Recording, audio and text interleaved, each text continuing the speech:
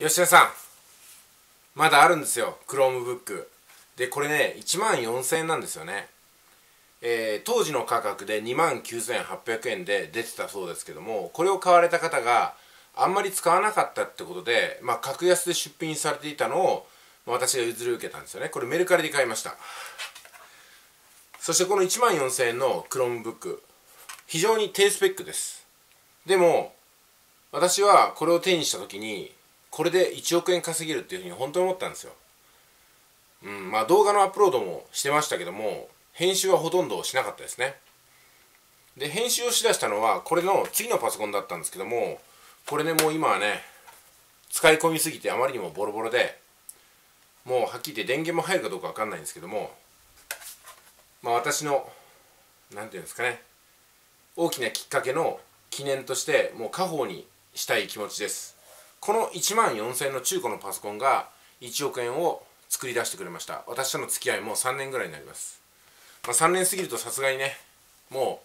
う私の作業に追いつけなくなってきてこのパソコンはご覧のようになりました。でここにねアフィリエイト B のシールがあるでしょ。ここのトリプルスリーのブラックランクを取ったんですよ。その時にいろんなノベリティグッズいただきましてまあなんか忘れられないですね。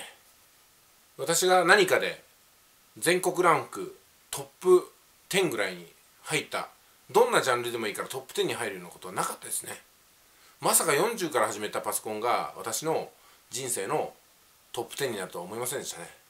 それまでいろいろ思いを込めてきてやったことがあったんですけどもどれもこれも10万円だか100万円だか分かんないような順位でとどまっておりました。まあ今でもねパソコンインターネットスマホこういったものを使ってトップ集団に食い込むことはあなたでもできると思います。そして私はねもう一回言いますけども40を過ぎて麻雀の親父が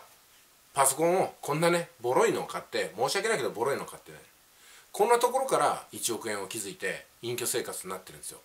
わずか8年前のことですよ、うん、そして私が最初に売った商品は自己アフィリエイトの方法。売上2万円以上保証。口座代金1万9800円。ね。そして最初に最初の月に50人の方が受講してくださってまあ、割引も割引もしたんですけどもね全部で80万円の手お金を手にして、えー、それまで3万5千円の3ヶ月の家賃滞納だったボロマンションまあボロマンションというとねマンションのオーナーさんに申し訳ないんですけどもまあそんな困窮状態から、えー、月の家賃13万ぐらいのセミナールーム付きのマンションに引っ越すことができて、えー、そこでね多くの方をお招きした400名以上の方をお招きして365日24時間セミナーとサポートをしたということになります。今でも本当にね吉谷さんにキラキラとした笑顔でねお話したことが忘れられません。吉谷さん多分ああ嬉しそうにパソコン買っちゃってこの人も終わっていくんだろうなと思ったでしょうけどもどっこいそう思われてるんだろうなと思いながらその思いを跳ねのけるためにもここまでやってきたというところもあります。まあでもねいろいろ申し上げましたけども今私がこうやって見えるもの感じるもの食べるもの全てインターネットがもたらしてくれました。インターネットとか YouTube ネットビジネスの仕組みがなかったら今ここにこのカメラに映ってる全てのものはありません。あこのカメラ自体もないんですね。この着てる服もそうです。ないです。このヘアカットもできてません。当然ネックレスも変えてません。私は裸一貫ということです。まそればかりかそこに加えて借金が3000万以上だったわけですからね。3000万の借金ってどういうことか分かりますかね。35年ローンで返すような借金ですよ。3000万って言ったら。家1個買えるわけですよ。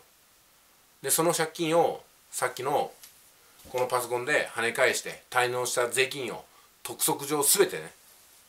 償還してプラスこの家を買ったということです。そして私は吉谷さんを「俺見ろ!」って感じでね。うちに招待したわけなんですけども、まあ、多分ね今でもそうなるとは思わなかったという言葉しか出ないでしょそうなんですよ。このネットビジネスに限らずですけども人の人生ってのはもうね明日どうなるか分かんないんですよね。いい意味でも悪い意味でも。昔から男子3日合わざれば刮目してみようと言いましたけども男性ってのはね、まあ、女性もそうですけども人っていうのは3日間その人に会わなかったら次会う時に大化けしてるかもしれないぞと。そういうふうなねえー、用心を持って敬意を込めて見ろということなんですよ。ではですね自分が大成功するとかね自分が望み通りの人生をつかむっていうことを自分自身がまず信じてあげないと一体誰が信じてくれるんですか。逆にですね私は終わってますとかもう年ですとかねそんなこと言って誰がチャンスをくれるんですか。自分はもうね全然お金もないし生活保護だしなんだかんだでもう絶対ダメですよと。ダメなんてアピールしても誰も近づいてこないんですよ。誰も助けてくれないんですよ。違うんですよ。何か私にできることがありませんかと。私にあなたにお手伝いができませんか。こういう言葉にきっと人は集まってくるんじゃないかなと思うんですよ。私は役に立ちません。足引っ張りです。そういった瞬間に終わっちゃうと思うんですよ。まずねせめて世界で一人だけ自分の味方は自分自身がしてあげてほしいなと思うんですよね。私はこの Chromebook がすごい強い相棒となってこれが全ての私の負債をね叩き返してくれました。